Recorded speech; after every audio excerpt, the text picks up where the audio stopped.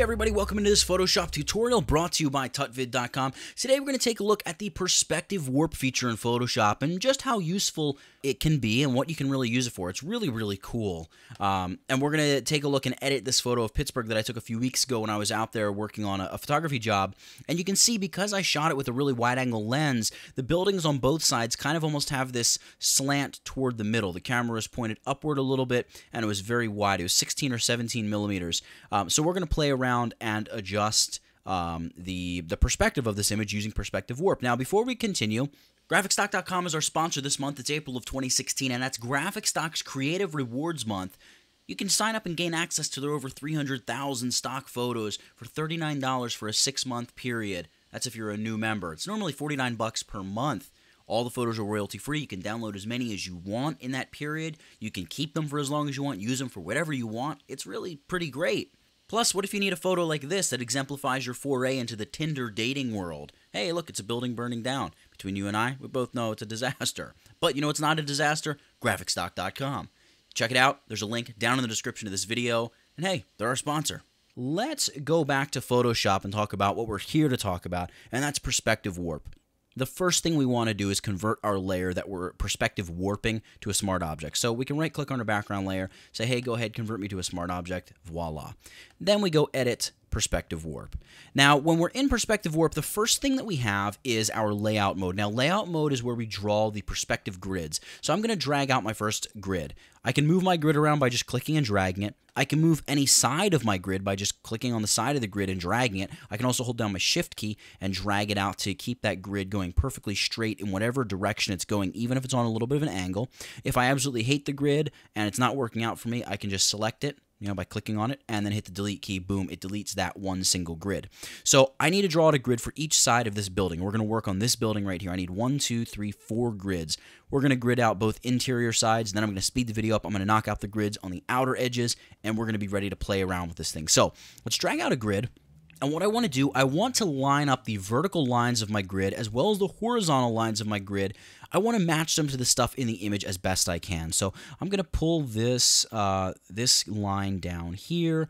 I'm going to pull this line in right here. And you can see our first vertical line is going right up and down that very edge of the building. Now I'm going to bring this into here. By the way, I'm picking my points down here based on where the base of the building would be. So I want that to run along uh, the base of the building.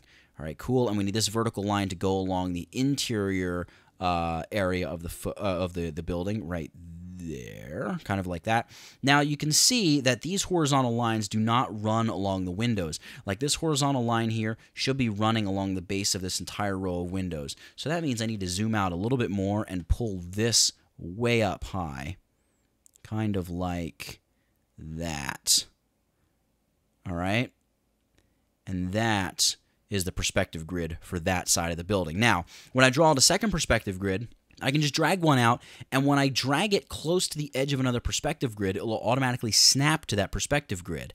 If I don't like it when they're connected, I can just hit the delete key. It's only going to delete the new portion of the perspective grid. Now, if I drag the perspective grid out again, and I just hover over that edge of the grid I've already placed, it'll automatically connect as soon as I let go with my mouse. So cool. We've got the interior part of our grid set up. Let's drag the base over to right here. You know what?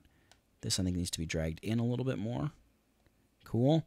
And let's drag this to be in line with the outside corner of the building and also watch my horizontal lines to make sure they run. See kind of right along the entire top uh, of those windows right there. Great. Now I'm going to speed the video up. I'm going to attach the perspective grids to the two outer parts of the building. Great. So there we have our perspective grid all set up. If I zoom out one more tick, I can see really all of the points. And now I can go into warp mode. Now here in warp mode, there's a few little icons. These icons basically will automatically straighten either the vertical or horizontal lines, which can do all kinds of crazy things. If we go all verticals, you can see two parts of the building disappear. Command or Control Z to undo that. If I straighten all the vertical lines, well, everything sort of straightens out, but it's still kind of funky too, so let's undo that. And then we can also straighten the horizontal and vertical lines. And you can see two sides of the building disappear entirely, but something cool does happen. We get an angled side of this building, which is now facing us, this full frontal face, and we have this wall of windows, which was not really in the original photo. Photoshop has stretched and constructed this wall of windows. So this is an interesting little thing to know you can do. I'm going to undo that as well, though. what we're going to do is we're going to select one of these anchor points. It can be any of them. And I'm going to begin dragging around and seeing what I can do with perspective warp. So I can like, wow, I can drag that in like that. I could drag this over here. That's kind of cool. Uh, maybe I'll drag this out over here. Uh, maybe I want to see more of the side of the building over here, right? I can drag that out. That's cool. I'm going to drag this over. Neat.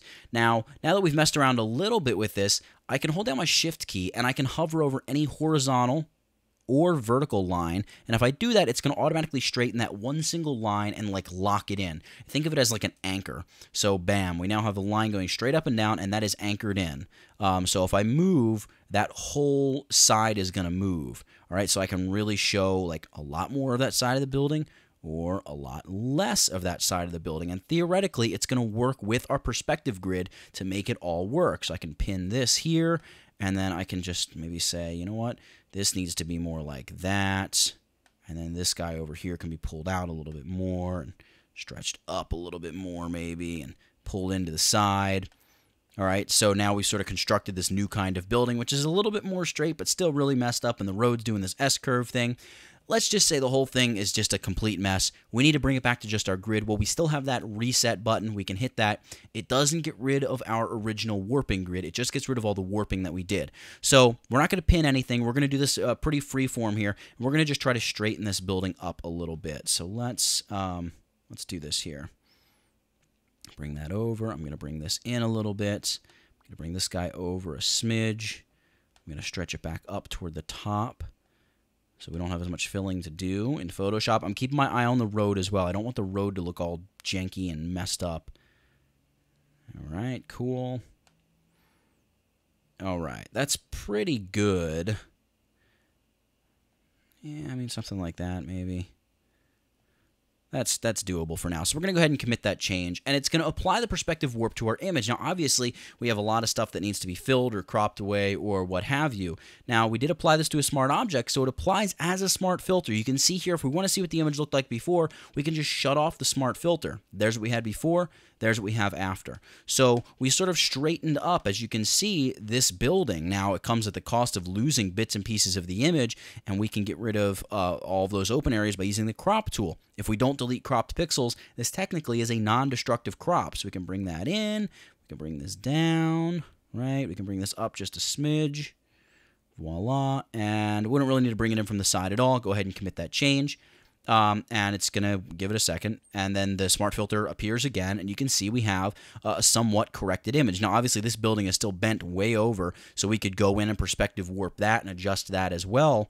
But for our intents here with this image, we have a version of this photo where this big building is much, much straighter and we've learned a thing or two about perspective warp. So it takes a little bit to kind of use it and get used to it. No, what in the world did I just do? Uh, it takes a little bit of time to, to use it and get used to it and know uh, exactly what you're doing with it. But it can be a really fun tool to play around with, and you can do a lot with it as far as doing things like exposing a part of a building that you can't really see very much, and maybe the client wants to see more of after the fact, and you've already flown home, or it's hours and hours away from wherever uh, the shot was to be taken. There's all kinds of things you can do with perspective warp. It's pretty stinking cool. So for perspective for perspective warp in Photoshop, that's it. Get it? Got it? Good. Nathaniel Dodson tutvid.com. I'll catch you in the next one.